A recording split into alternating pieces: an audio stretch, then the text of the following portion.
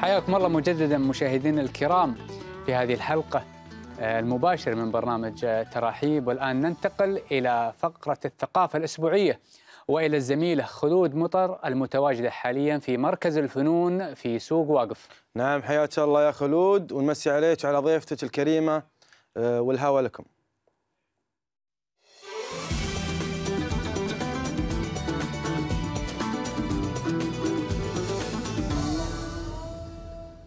يا هلا فيك خالد وحمد ويا هلا فيكم مشاهدينا. آه، تستعد هيئة متاحف قطر لتدشين فعاليات قطر لبرازيل 2014 ليكون عاما ثقافيا آخر. آه، يضاف إلى الأعوام الثقافية آه، اليابان قطر وقطر المملكة المتحدة. معنا اليوم في الاستديو نور الشعراني منسقة مشاريع بمكتب العلاقات بالمكتب العلاقات الثقافية. الاستراتيجية في هيئة متاحف قطر يا هلا ومرحبا فيك. الله يحييك يا خلود. أه، بنعرف أكثر مشاهدينا عن أه، هذا هذه الفعالية بس خلينا نشوف معاكم هذا التقرير ونكمل حوارنا.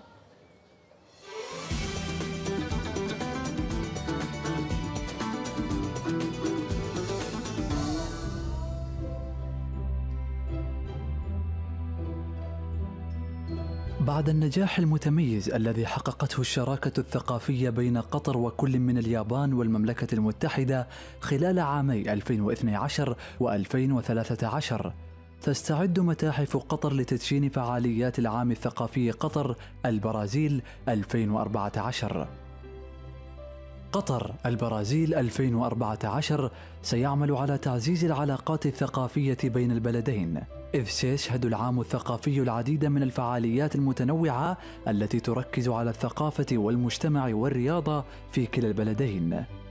في حين يواصل صندوق الصداقة القطري الذي تم إطلاقه خلال احتفالية قطر اليابان 2012 بقيمة 100 مليون دولار مساعدة لليابان لإعادة بناء ما تهدم بعد تسونامي 2012 المدمر. فيما تظل الصداقة الطموحة بين المكتبة البريطانية ومؤسسة قطر مستمرة في رقمنة أكثر من 500 ألف وثيقة تاريخية في مبادرة تم إطلاقها خلال العام الثقافي قطر المملكة المتحدة 2013 التي شارك فيها أكثر من 350 ألف شخص انخرطوا في أنشطة وفعاليات أقيمت في قطر والمملكة المتحدة. وقد جسدت هذه الأعوام الثقافية أهداف هيئة متاحف قطر التي تعمل على رعاية المواهب الفنية وتوفير الفرص وتطوير المهارات لخدمة القطاع الفني في قطر.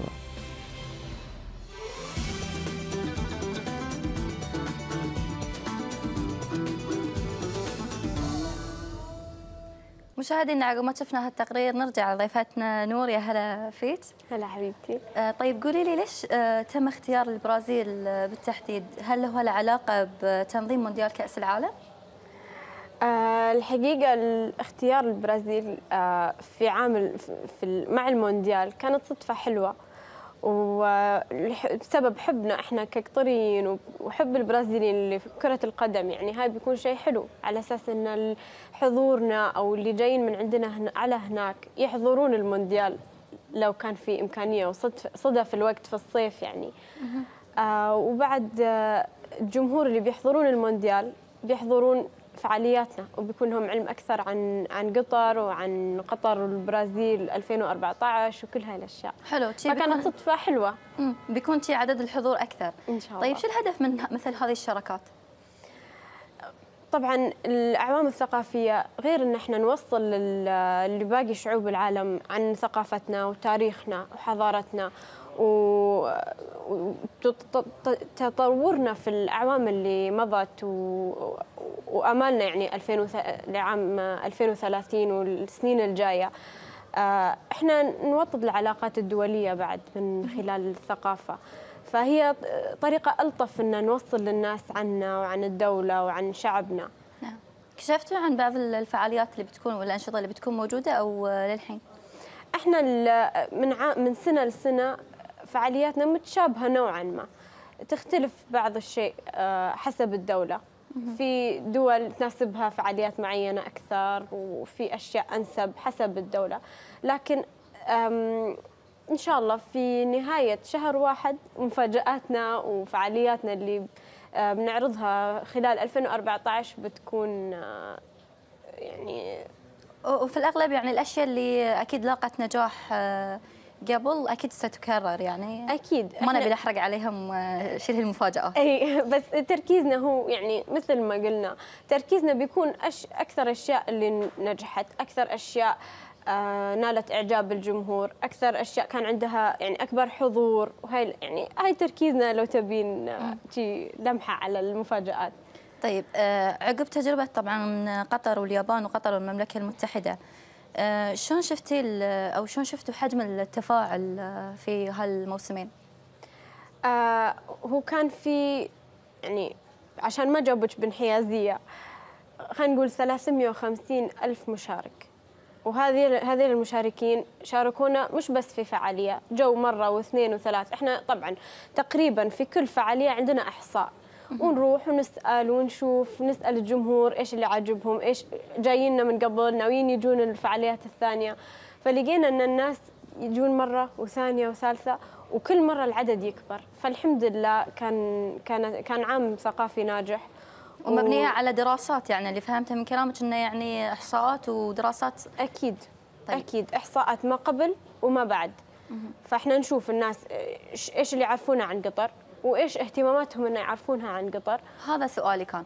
آه، تشوفين إن هالفعاليات آه، وضحت لهم آه، عاداتنا وتقاليدنا أو مثلا أعطتهم فكرة صحيحة عن قطر أكيد يعني مع مع كثر اختلاف الشعوب واختلاف البلاد ثقافات. والثقافات لما هم يتعرضون لفعالية مركزة بس على قطر يشوفون أكثر عنا يشوفون لباسنا يشوفون آه تقاليدنا يشوفون أسلوبنا إحنا ك- كشعب و والتطور اللي إحنا وصلنا له. يعني ممكن هم يعرفون عن قطر شيء من 20 سنة. ما عرفوا التطور إحنا اليوم وصلنا لشنو.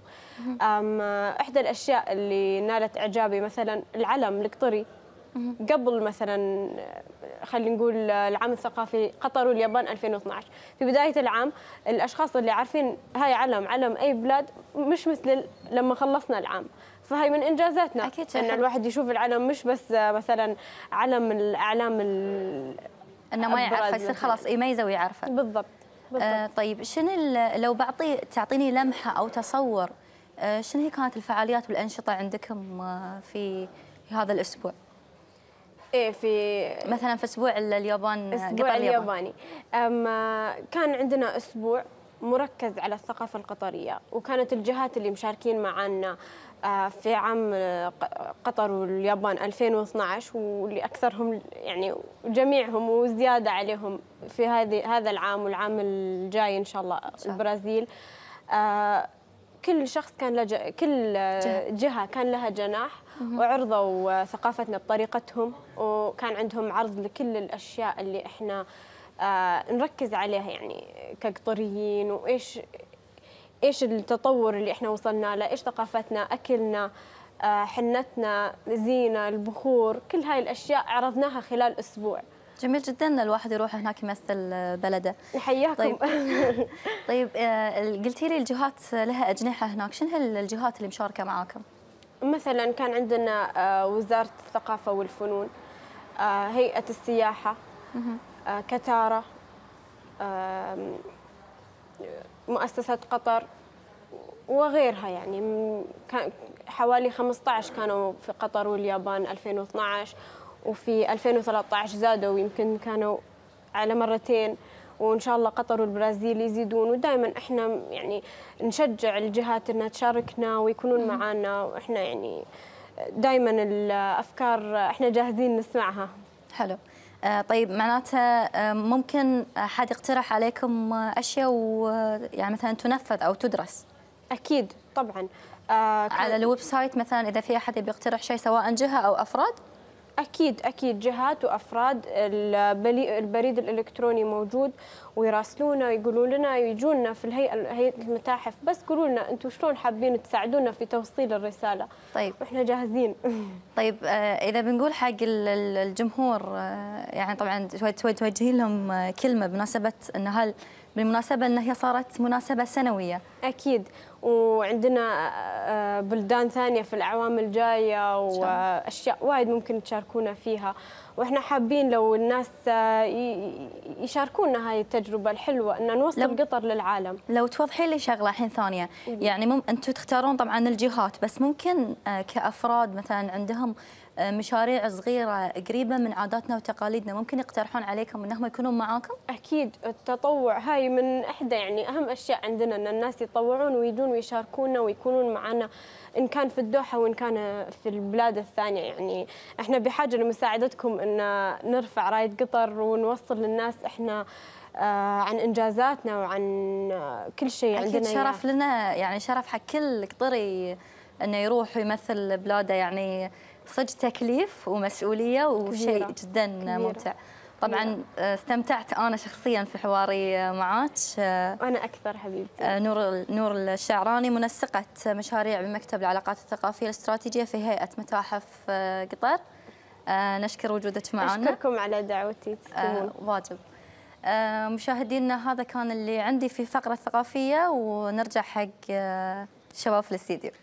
شكرا آه، خلود. أنت وضيفتك آه، الكريمه نور الشعراني من هيئة متاحف قطر اللي كان فقرتها عن آه، الشراكة اللي بين قطر والبرازيل 2014 نعم. نعم. نطلع فاصل يا حمد؟ يلا مشاهدينا فاصل وراح نتابع بعد الفاصل. إجراء قرعة بكتارة لاختيار الفرق المشاركة في بطولة القلايل.